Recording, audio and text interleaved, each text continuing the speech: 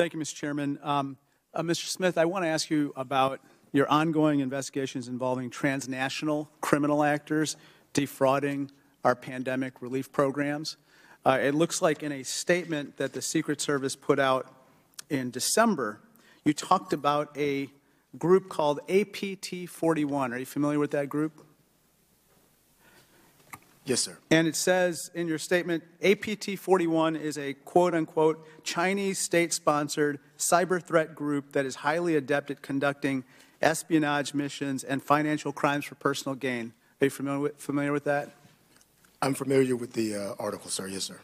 And apparently, according to this same article, this group, the APT 41 Chinese state sponsored cyber gang, uh, stole tens of millions of dollars in U.S. COVID, COVID relief benefits, including SBA loans, unemployment insurance funds in over a dozen states. Isn't that right? That's what the article stated. Yes, sir. Now, tell me, sir, since that article came out, um, I got to believe that they've probably targeted a lot of states beyond a dozen. Um, can you tell us uh, how widespread uh, the geographic coverage was in terms of the number of states that they had uh, tried to target? So, again, I'm familiar with the article. Um, our National Pandemic Fraud Coordinator, uh, who testified last uh, summer, uh, who I appointed to that position uh, as a supervisor in one of our field offices. Uh, the spirit of what he was conveying uh, was that it is unimaginable that organized transnational criminal organized groups did not look to exploit pandemic related fraud uh, no different than you know an American would. Um, it is there are some commonalities uh, between some of the uh, thousands of bank accounts uh, that we've seen uh, used to move illicitly gained pandemic uh, fraud fraud resources that were also being used uh, by some of those uh, transnational criminal organized groups, uh, to include the one you mentioned. it is also worth mentioning when we do have cases that involve um, transnational criminal organized groups or state-sponsored entities, we do employ Can I, Let me stop you there. Okay, we've now established APT 41 is a Chinese state-sponsored cyber gang. Now let me just turn your attention to Russia.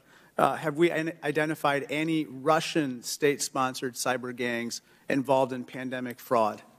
A lot of the uh, Russian underlying uh, pandemic-related fraud has to do with folks dealing in identity theft. So, so for decades, we've, we've known uh, forms uh, wherein people uh, state-sponsored, though. Are they state-sponsored? Sir, the Secret Service focuses on financial crimes. Uh, whether or not an entity is state-sponsored or not is generally not uh, why we uh, tend to focus on them. We follow money, and if that leads us to a state-sponsored actor, uh, we then uh, we don't stop the case, but we then employ our, our, partners at DOJ. And have you have you come across that link yet?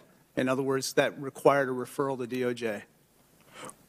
The referral to DOJ is actually uh, part of the task force the DOJ started at the beginning of the pandemic. So there, there are cases wherein uh, we have some linkages or commonalities uh, between cases we're working for financial crime reasons, and they, there may be a state-sponsored actor that has some commonalities there. Okay, so now we've established that there have been Chinese state-sponsored cyber gangs as well as Russian state-sponsored and linked to the state uh, individuals who've committed pandemic relief crimes. Now, sir, sir, what I said was that there are commonalities between some of the accounts and, um, and other indicators we've seen. That's what I said. Okay. Now, with regard to APT 41 in particular, uh, in your statement, I'm sorry, the U.S. Secret Service's statement, yes, it said it was quote unquote state sponsored.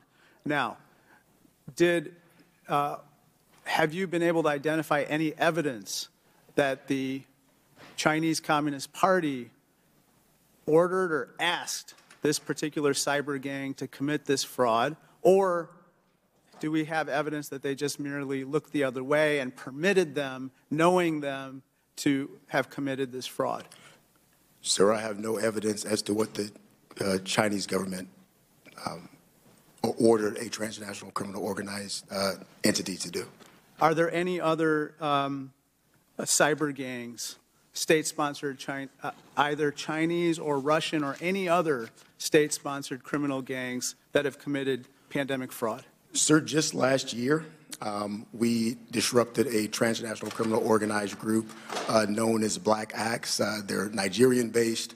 Uh, They were operating in South Africa, and they, they have a long-standing history of committing a lot of different types of fraud, and they used a lot of the uh, pre-existing money mules. Uh, There's an extensive money mule network that operates here in the States. Again, even the transnational criminal organized groups overwhelmingly used or leveraged an American or an American profile to facilitate pandemic-related fraud. So we did see that, and we, we had an operation uh, that disrupted that group just last year.